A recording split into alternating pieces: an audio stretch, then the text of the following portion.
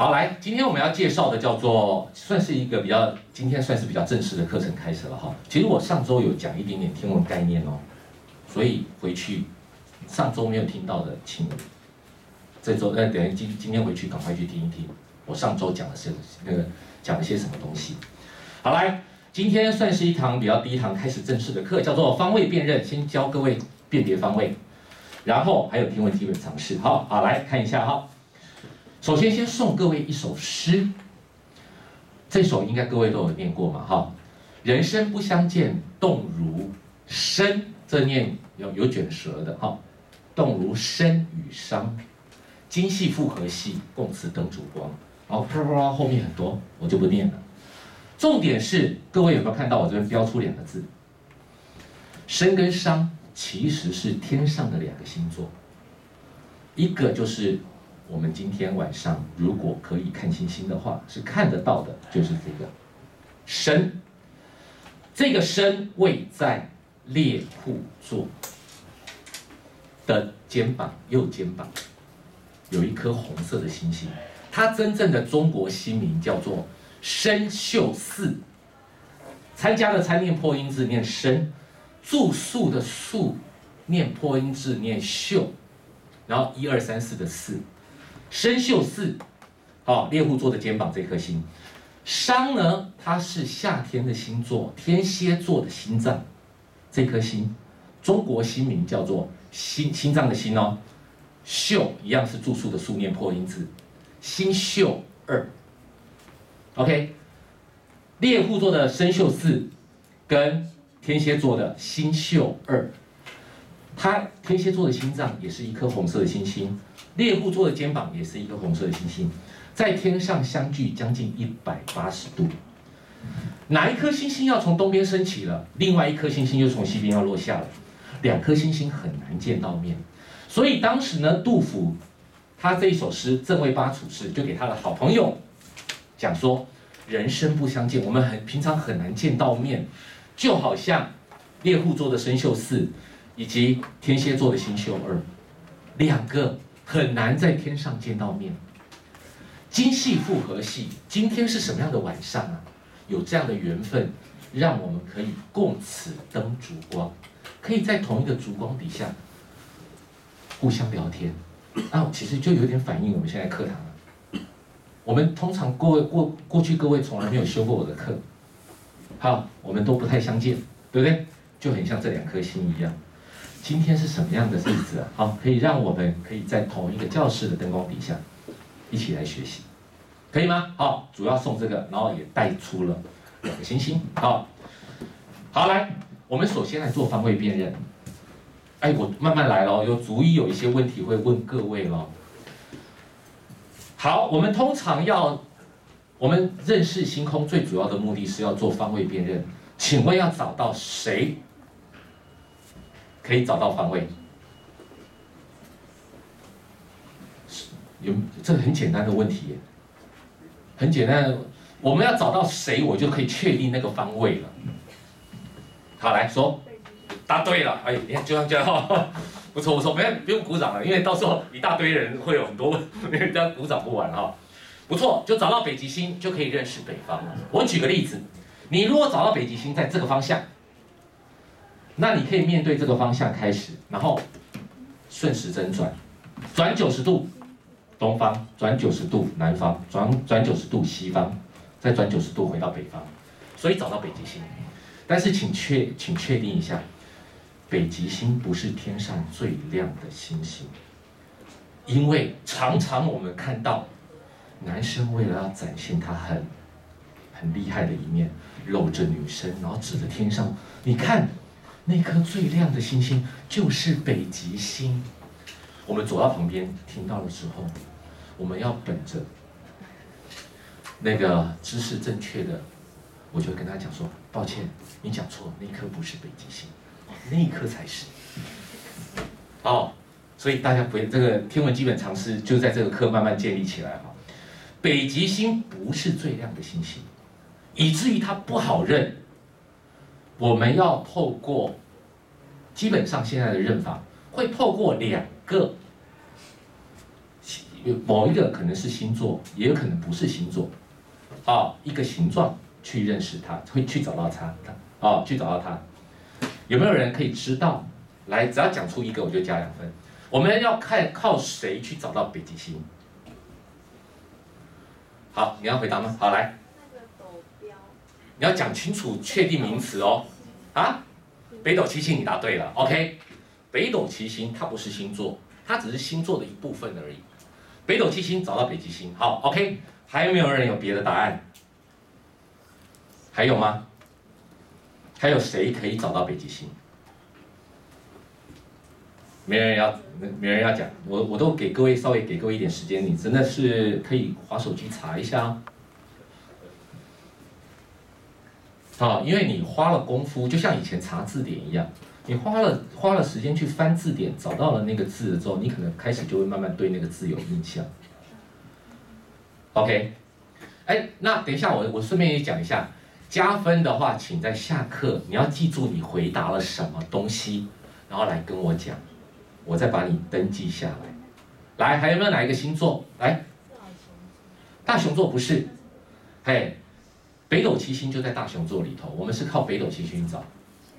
先后座答对了，好，OK，不错，很好，就是这两个答案。但是还有第三个答案啦，只是我们下我们冬季星空还没介绍。来，北极星是二等星，哎，什么叫二等星呢？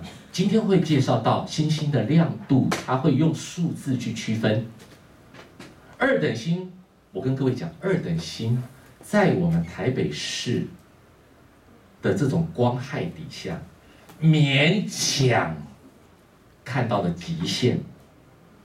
OK，那数字越大，亮度越暗，所以如果一旦到三等，台北市可能就看不太到了。何何况更四等、五等、六等，哎，但是低的呢，也有一等星、零等星、负一、负二、负三都有。OK，好，只要数字越小的，小到负的越大的，那就越亮。像太阳，太阳大概负二十六点多的，满月的月亮大概负十二点多等。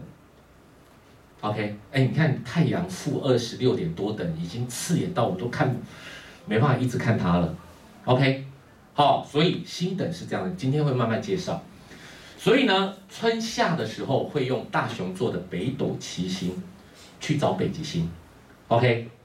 但是因为北斗七星是绕着北极星在转，在我我们地球上看天空，北斗七星绕着北极星在转，所以它有时候会绕到接近地平的，我们会找不到，我们就要找换另外一个就上来了，另外一个是五颗星的，叫做先后座，可以来找到它。好，来，我们来看一下哈，这个就不用抢答哈。来，我现在这个黄色框框里面，哎，可以先帮我把灯都关掉一下吗？来，那个靠那个灯光的，帮我都关掉一下。好，虽然还是有光，还能帮我关一下，还是有光害。虽然我们在下午时间上课，来，有没有人？呃，不，你我们先这样子啦，一起好不好？你可以跟我讲一下北斗七星在画面上的上面、下面、左边、右边还是中间？好，有人说中间，还有没有别的答案？没有别的答案，正确答案在右边。一、二、三、四，来，我弄游标。一、二、三、四、五、六、七，是这七颗。这哎，你会觉得这也像北斗七星啊，一二三四五六七，哎，也像北斗七星啊，但是它是小熊座。哎，怎么区分啊？第一个哈，北斗七星比较亮，几乎七颗，大多数都看得到。小熊座亮的主要是三颗比较亮。OK，然后还有一个，你把它想象，我们都说像北斗七星像一个勺子一样，那你就想。装这个像勺子装水在这里嘛？你也好像把它放在地平面上，把它放在地上，这个勺子往上翘的是小熊座。那你看这个也像一个勺子嘛，哈。那我说勺子这边是装水的，假设我要把它放在地上，这你想象这边有个地平面，这个勺子是往下弯的，有没有？稍微往下弯，一个是往上弯的，可以吗？往下弯的是北斗七星，往上弯的是小熊座。OK，哎，来帮我把后面的灯打开来。好，现在又一个开放性问题要问喽，有没有人可以帮我讲出北斗七星这七颗星的名字？谁讲得出来？来，这样子好了，讲一个我加一分，好不好？来，有没有谁至少你记得的一个，你赶快把它讲出来，我就加一分。但是如果七个全部都是一个人讲的，我就加个三分就好，不要加一下就把那个人全部加七分，那太多了啦。好，有谁要讲的？好，来来，你要你你来，你先你先你要讲你要讲几个？你要讲两个哈，两个来。我是中国新民，中国新民。好，来你。天书。好，天书，你讲一个啊，好，好，那就一先给你讲来，我们都平均分好了，来，后面这位。天玄。天玄，再来，好，换你好了。那你犹犹豫了，我你还 来。天权，好，来天天书、天玄跟天权已经被你讲过了。那呃，来，我我我稍微点一下，刚才可能没举手过的，因为现在很多人举手，我就对，好了，来靠窗户那位。开阳好，已经四个了，来靠这边好了。瑶光好，五位了，来最后面。玉衡六个喽，还有一个还没讲，来，那红色衣服这位女生。天机天书天选天机，对，OK 好，OK 来。天书天选天机天权玉衡开阳瑶光，OK 好，就是这七颗星。那我再问哦。我很多问题要问哦，在，也在座有没有人喜欢看金庸小说的？都没有哦，那机会就均等哦，我就那那个来问哦，在金庸小说里面有一个教派，他曾经把北斗七星当成他的一个正式。重阳是一个人名呢，王重阳呢。是哪一个教派？但是你已经方向对了，来后面，啊，全真教答对了，啊，没关系，你 全真教他把这个北斗七星当成他的一个正式，请问那个正式的名字叫什么？当时有全真七子哈，他就是站在这个位置，但是他那个正式总是就像有那个乾坤大挪移。九九阴真经，九九阳真经有没有？那全真七子排这个北斗七星这个正式，它正确名称叫什么正？啊？七星北斗不对，再来后面。天罡北斗阵。答对了，天罡罡怎么写？上面一个四，下面一个正，可以吗？天罡北斗阵。再来问哦，请问是出现在哪一本书里面？哪他那个金庸很多书啊，最主要是出现在哪一本？啊？神雕侠侣答对了，OK，不错哈。哎，各位，哎，等一下，有加分的都要记住你到底回答什么哈？你是回答什么？到时候我加分我才会有印象你没有不能跟我讲说我答对一题，哦，你到我都是下课统一登记哈。全真教要在神雕侠侣里面，当时那个大侠郭靖。带着杨过上到这个全真教那个地方去，因为他把把杨过送给全真教的人来教。结果呢，当时讲到一件事情，很气愤，郭靖就对一个石头啪一棒，把他把那个石头打碎了。就全真教里面有几个小喽啰看到了，以为是蒙古的人来了，赶快就回跑到跑回全真教，赶快叫大家，一大堆人摆了这个全那个天罡北斗阵。来对付郭靖，结果没想到郭靖踩在一个位置之后，踩在一颗星的位置之后，居然制住了天罡北斗阵。你们知道他踩到哪个位置吗？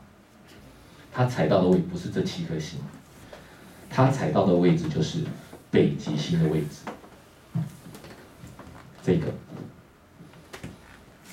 哎，北极星的中国新名，请看一下这里，请要记住，叫勾陈一，这什么名字啊？好难记哦。OK，哎，请记住，我标黄色的字通常是很重要的，好吗？你不要北极星，北极星它叫什么名？我就叫北极星就好啦。我跟各位讲，北极星会换人做。北极星不是永远是他哦。跟各位讲一下，孔子时代的北极星，两千多年前是他，他叫做皇帝的帝，这一颗。孔子时代北极星是他哦。所以在《论语》当中讲到了一句话，叫做“为政以德”。譬如北辰，北辰的意思就是北极星。为政以德，就是你施政的时候用德性来施政。譬如北辰，就好像北极星一样。有没有人知道接下来下一句是什么？谁可以念得出来？哎呦！我们台北这边不是都是大多数是文法商的吗？哎，我听到有谁谁谁有一个女生念出来，是你来。你是等一下，你是台湾的学生吗？怎么发音怪怪的？是众星拱之吗？拱啦，有一个手手提鞭啊，众居其所而众星拱之。孔子时代说，皇帝呢，如果施政是用德性在施政的时候，那他就很像北极星一样，他可以不要管太多事情，因为他用德性在施政，他只要做好他的位置，所有的星星就很像一般的百姓一样，会围绕着你打转，做他该做的事情。你不用一个一个去一一直在监督，你只要用德性在施政，人民就像这些星星一样，好，让你居其所，而其他的人民就像星星一样，众星拱之，以你马首是瞻，是这样子的。所以孔子时代北极星是他哦，但是我在跟各位讲，埃及时代四千多年前的北极星是他。所以在换人做了，哎，为什么要换人做啊？其实都跟地球的自转是有很大的关系。等我们晚一点会再讲到。OK，孔子时代的北极星是他哦，他的地。哎，等一下，他后面底下有一个亮亮亮亮也算不不暗的星星，他的名字中文新名叫做太子。哎，太子是谁啊？太子是将来要接皇位的人啊。对不对？哎，中国的新名，中国天上的星星的名字，居然是用这种名字。刚才有同学在讲说，天书叫做大熊座的阿尔法星，哦，大熊座的贝塔星。哎，这是我先跟各位讲哈，在台湾认星座的做法哈，星座会用西洋的名称，就像大熊座，有小熊座，好。但是呢，那个星星的名字，我们会用中国的古星名。我们通常不会讲阿尔法、贝塔、伽马，OK？我们都会用这种中国姓名，OK？好，不管呃，连大陆那边讲法也是一样，哦，香港那边的讲法也是一样，好，所以记住哈，这边有个太子，哎嘿，这不就感觉天上好像把一些封建制度时代的这些。职称对应到天上去了吗？哎，还不止哦，再给各位看一下，看各位眼力好不好？上面还有一颗，皇帝上面有一颗，有没有看到？这边有一颗，有没有？它叫庶子。什么是庶子？庶子就是皇帝的儿子，但是不是要接皇位的，其他儿子都叫庶子。还不止哦，眼力再好一点。上面还有一颗，这个有没有看到？叫做后宫，《甄嬛传》啊，没有《甄嬛传》，只有后宫而已。你看，居然都跟皇帝有关系耶！我先跟各位讲，不止这边而已哦。这一个北极星这一整个天区上面的这些东西，都跟皇帝很有关系。这边都是官名、官位的名称。那你可能就很好奇，那这样勾陈一是谁呀？你以后遇到星星的名字后面有一二三四的，你先暂时把它拿掉，因为它是这样子。你后面没有一二三四的，代表一颗星就是一个中国的一个星座。但是有一二三四的，就是那几颗星是一个星座。你看哦，它是这样子，勾乘一，勾乘二，勾乘三，勾乘四，勾乘五，勾乘六，它是这样子，整个勾乘算一个星座。好，那勾成是谁啊？我刚才讲过说，这边都跟皇帝有很大的关系。那勾成到底是谁啊？哎，帮我再开，你帮我开下面那个灯，谢谢。那勾陈是谁？现在来讲故事了哈。那但故事当中也有一些问题会问哦。来，首先哈，皇帝每天晚上都要做一件事情，不是我们一般人在做的，每天晚上都要做什么事情？通常女生答的，我通常在很多地方讲，女生都比较答得出来。我也在饭店讲过，饭店讲了，然后。我居然曾经碰过有小六的女生，居然还答得出来。来，谁要回答的？皇帝每天晚上都要做一次。好，来说。答对了，你看，果然是女生比较会答哦。OK，哎，皇帝每天晚上要翻翻牌，干嘛？后宫佳丽三千，他一个晚上也只能只能对一个女生而已啊。OK，所以他就要靠翻牌。哦，那请问端翻牌的人是谁？是谁？谁要回答？举手。端端着那个翻牌的是谁？啊，他都他都客气吧。端着盘子的就是太监。啊，OK。所以皇帝通常就是在这个在在他端盘子这边翻牌，翻到谁就是跟谁，那天晚上就跟谁睡，对不对？但是呢，你们觉得这样公平吗？其实这是非常有弊病的。为什么呢？今天如果这个太监想他知道皇帝的喜好，我如果能够稍微提示一下皇帝，让他能够翻到他喜欢的妃子，他会赏赐给我。然后后宫佳丽三三千都要去贿赂这个太监，希望他可以帮我做个记号，提醒这个皇帝去翻这个。但是我先问你，你觉得很奇怪哦？皇帝的权力这么高大。为什么他不能指定他想要的妃子？我跟各位讲是不行的，因为历史上有一个很很历史上有一个很知名的一个例子。来，各位来猜猜看，先来猜猜看他的成语，然后再来猜猜看是哪一个皇帝哈？因为有一个皇帝曾经在小时候呢，非常喜欢一个女的。然后就跟他讲说，他当时还不是皇帝啦，但是非常喜欢一个女的，他就跟他讲说，哇，等你长大之后，我要建一个黄金屋，把你养在里头。来，成语是什么？答对了。好，那请问金屋藏娇的那个皇帝是谁？有没有人要回答？啊？杨日杨杨玉环吧，杨日环，杨玉环。杨玉环不是，杨玉环是那个，你是说那个杨贵妃？不是，不是杨贵妃的。杨贵妃有叫娇吗？金屋藏嗯，来，来先你你你看啊，汉武帝答对了。汉武帝他当时就宠爱那个女生叫做陈阿娇，然后长大了之后，他当皇帝的时候，真的把陈阿娇列为皇后哦。